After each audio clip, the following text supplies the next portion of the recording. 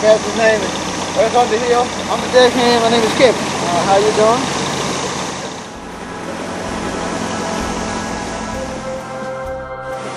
It'll take about three minutes to get across the river.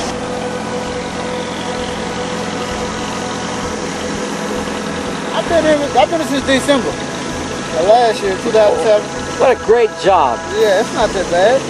Just hate when it rains, but all year round. One time we closed due to rain, but the rain's got to be all the way up to that to the front of his truck, to that crack, to that last crack. See that fence post? Yep.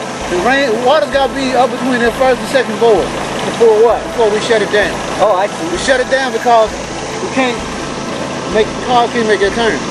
Ah, Once they can't make a turn, we can't get on. As far as that, in the wintertime, too much snow cause of the roads were shut down. Besides that, we work every day, every holiday but Christmas.